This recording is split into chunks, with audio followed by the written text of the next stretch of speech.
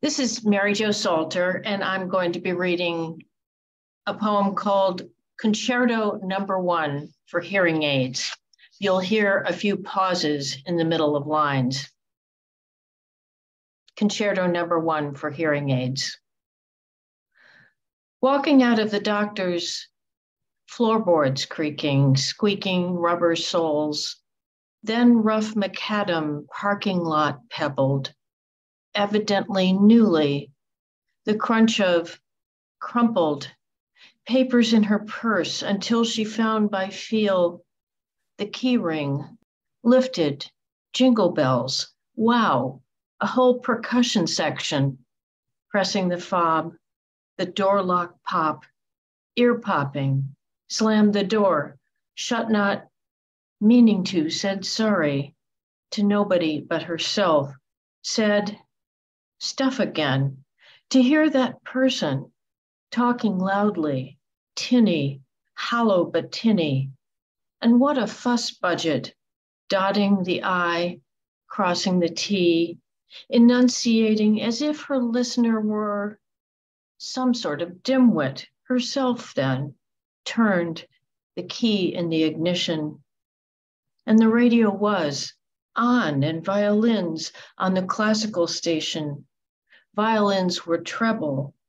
And how long had music, things, been out of whack? Too much, too muffled, dark, and sorry. Treble was young. Treble was what she'd had when she couldn't hear yet what the world would sound like being old. A new thought. Think of that. The next poem is called The Mailman.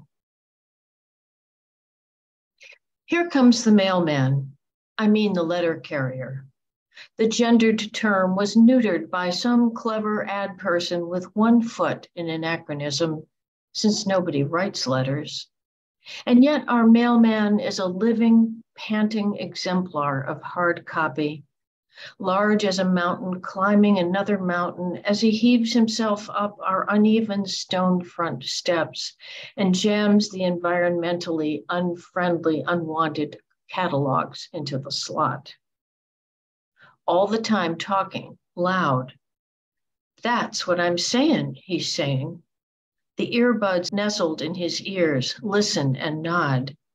I've always wondered who's in there his wife, his brother, a good, I'm sorry, I messed up. I'm going to back up.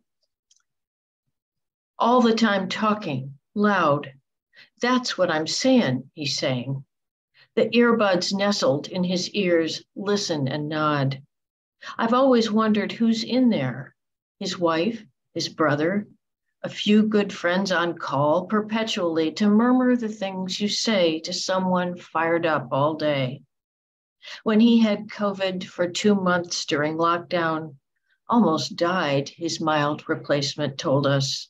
I felt sorry I'd never asked his name. His name is Kevin, and if he spots me through the window, always smiles and waves, though he can't stop to talk. To me, that is. He's otherwise engaged. That's what I'm saying. He and I are persons, almost outdated, not quite finished saying whatever it is, some burning, urgent thing.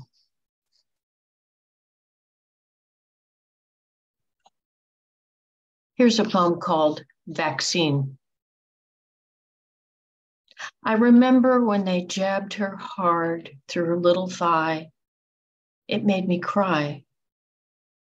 Now it's her turn to bear her baby's turn, to take it in that she can't win.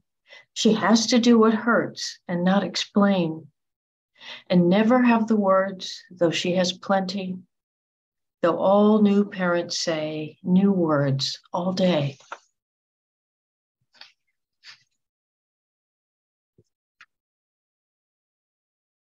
And this poem is called Reflections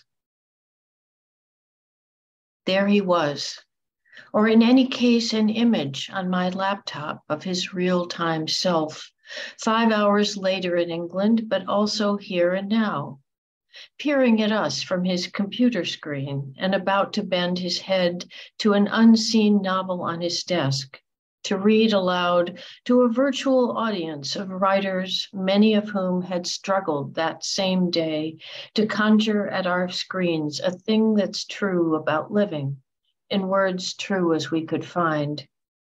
A few scenes from Atonement. I had read it twice before, had seen the movie, now, in a live stream of a graying, mild man reading his novel with commentary, I heard him say that the headstrong teenaged writer, Briony, who in the book would spend her life to come atoning for one grievous wrong by writing this book itself, one with a happy ending that unhappily was all made up, was not always meant by him to be the author. It came to him midway, part of the process. Ghostwriter, that's what he'd become, and even willed for himself to appear, to disappear.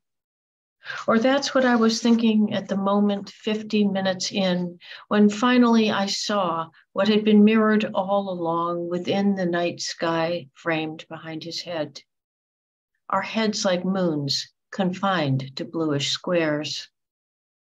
His monitor's reflection in the window, blocked partly by the shadow of the body who sat before it, proved I was in England gazing at me here, however blurry. Infinite fictions, yet time for only one last question. Mr. McEwan, someone asks, what do you think you've learned of what it means to be sorry, to atone? a thoughtful answer emerges, touching on Henry James, James Joyce, The Examined Life. You can't call back the deeds, the author says. And pious self forgiveness, he tends to think, is too easy a way out. He pauses, offers a smile that reads as rueful.